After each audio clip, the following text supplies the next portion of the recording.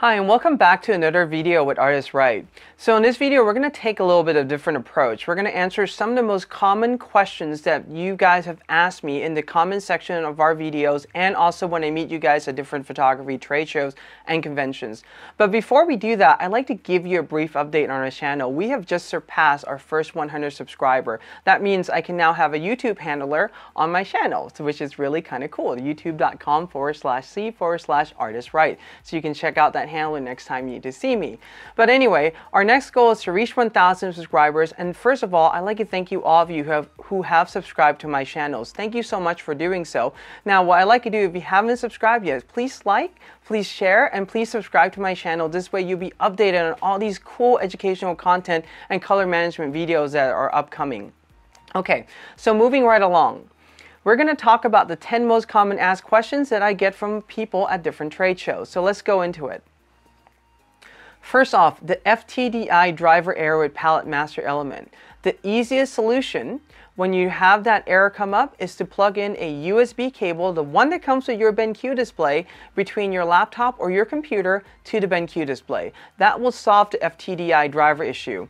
The reason why that driver issue or that thing pops up is because the display cable that you're using, for example, the HDMI, the DisplayPort cable, or any other cables that you may use, is only carrying the display signal. It does not carry enough information for a Palette Master element to talk with the computer inside the display. And that's part of the reason why that error is occurring. So once you plug that in, you should be good.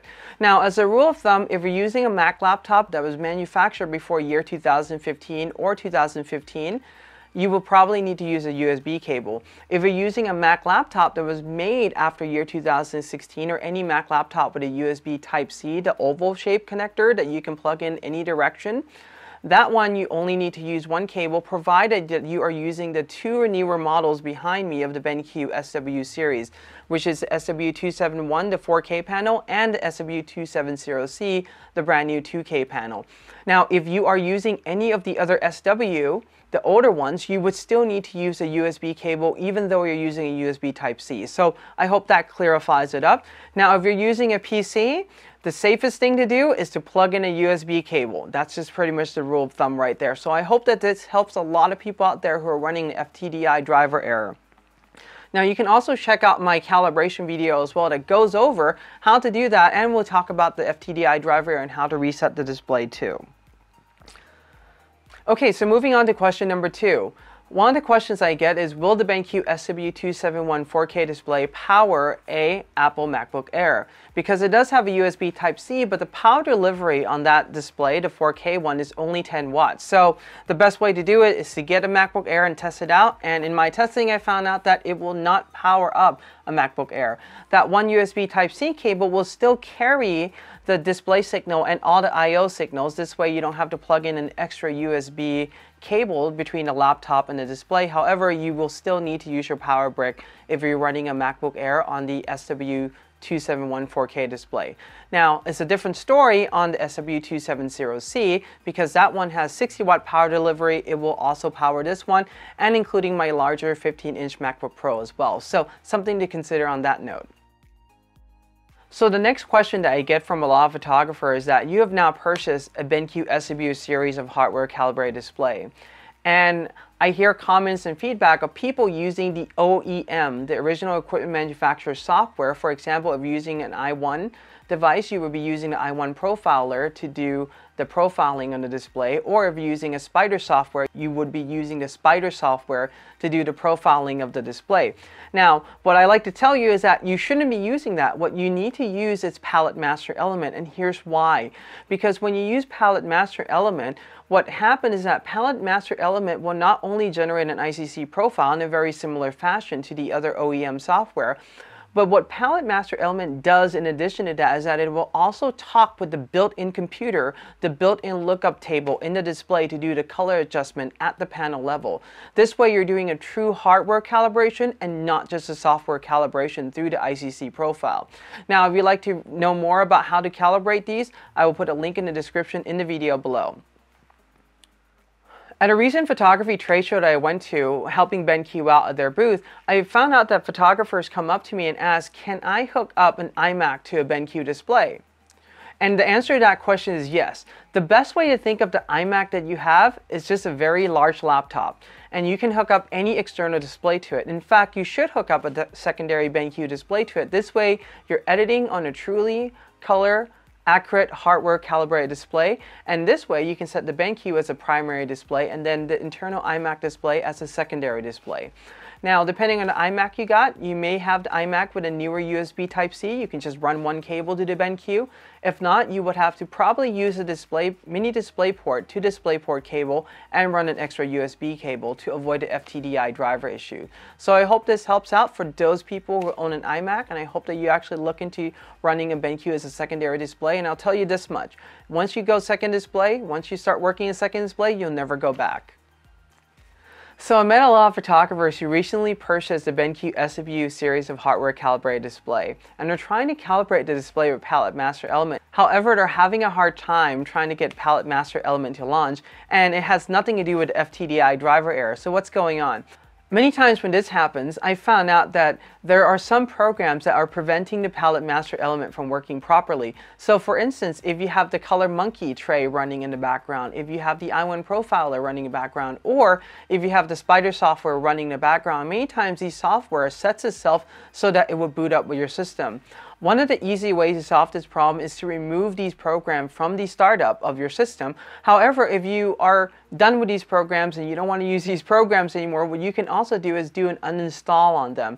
And for a Windows PC, it's very easy. Just go to add and remove program, we'll uninstall everything. For a Mac user, it's a little bit more difficult because there's really no uninstaller with some of these programs. So when you run into that problem, when there's no uninstaller, what you want to use is a program called App Cleaner. It's a free program, just download that, literally copy to the application folder, launch the program, the App Cleaner, and drag ColorMunki or whatever program you want to remove into the dialog box of the program, and it will search all the relevant files that are stored all across the user library on a Macintosh system. You click delete and now that program is gone. So hopefully this helps out for those of you who are having problem trying to calibrate a Palette Master element and the SW series display who have had other devices installed before.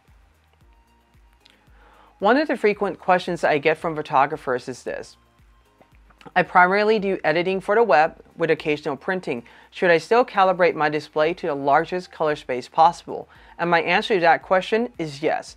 And the reason why you want to do that is because anytime you edit your photos, you always want to edit for the future. Not today, not for what you're about to post in the next 20 minutes or in the next hour, but you always want to edit for the future.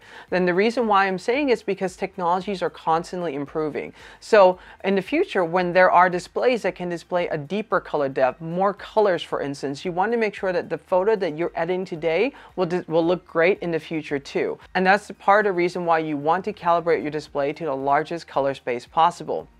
Now, the other thing with the BenQ SW series, if you have one, is that it comes with a hockey puck. And the hockey puck makes changing and proofing in different color space instantaneous. Just pre-program the button, press that customize hotkey, go to the color space you want to see what your picture will look like in. After you're done, switch back and do the editing in the largest color space possible. So again, we got to think about the future when we're editing our photos and we never know where our photo is going to be. Who knows? Maybe Apple will contact you and ask you for your photos. That way, you definitely want to use the largest color space possible. The next thing I want to talk about here is contrast ratio. I got this question in one of the comments of our video saying that there are people that have done testing on the BenQ SW series of display after calibration and the contrast ratio is 500 to 1, 600 to 1 or something like that. What happens is that as photographers, you need to remember that we're only setting our display brightness to about 100 nits or 100 candela. When we do that, the brightest is going to be at 100 and the darkest, because these are LCD screens, they cannot go as dark as, for example, like an OLED, for instance.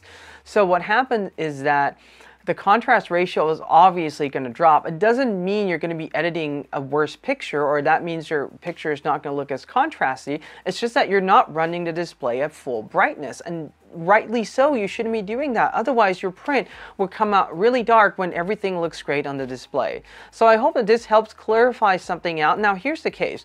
What it comes down to at the end of the day, I wouldn't worry so much about contrast ratio. As long as when you're visually viewing your screen, if it doesn't look flat beyond comprehension, I think your display calibration works great and is good. The other thing too is that once you are done with the display calibration, just make sure that you run a validation and make sure that that value, the delta E, is under 2. Otherwise, you should be good. I wouldn't worry so much about specs or the contrast ratio in this case.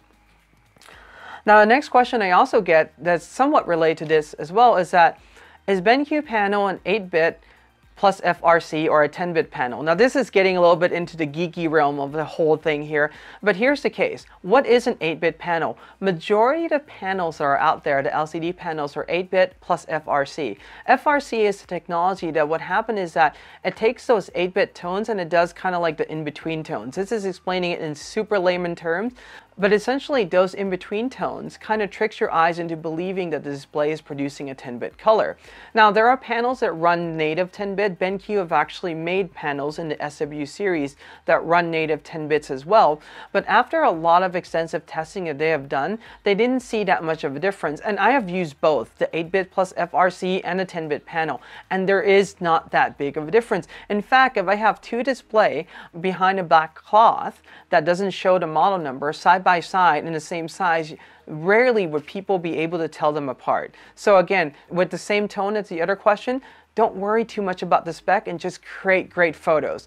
Edit great photos. Okay, so just go out there and make the best work possible with the display that you have. And I'll be honest with you, I use these BenQ with 8-bit plus FRC all the time and it's not been an issue.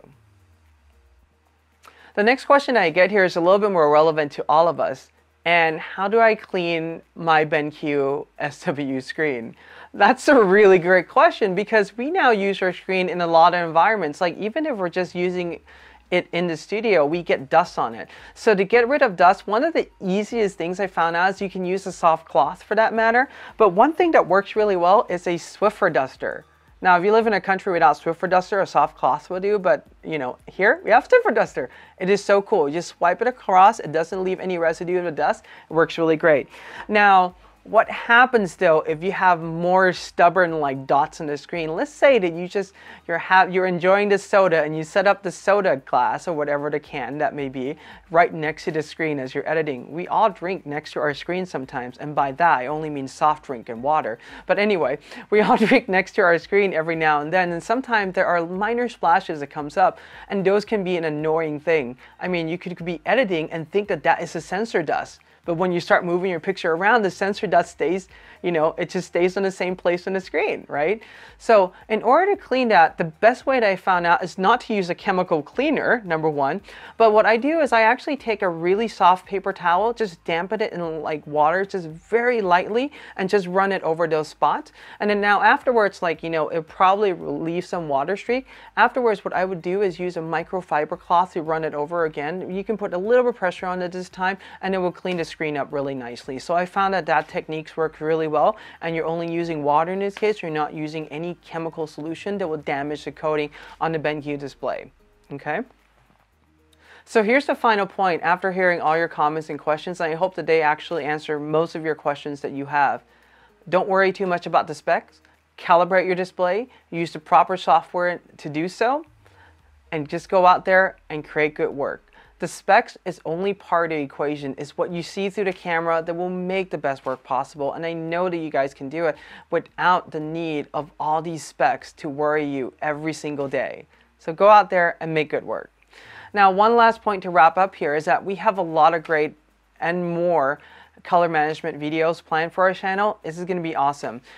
So recently, X-Rite has released a few new devices and when we get them into our studio we will do unboxing, we will do a testing and we'll do a deep dive on them including videos and guides and tutorials on which one you should buy.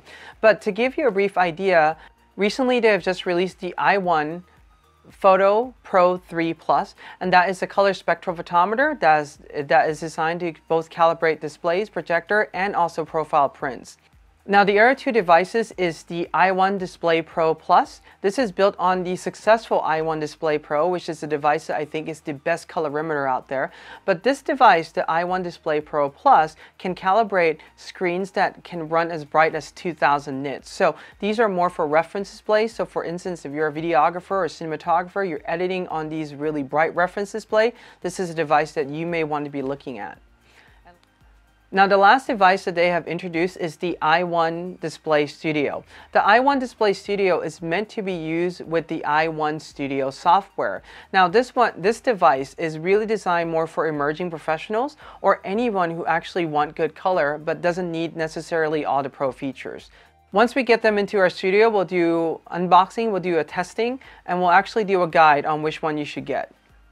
I hope that you find this video helpful. If you haven't done so already, please like this video, subscribe to my channel, hit on the notification bell so that you'll be updated every time I upload cool contents like this.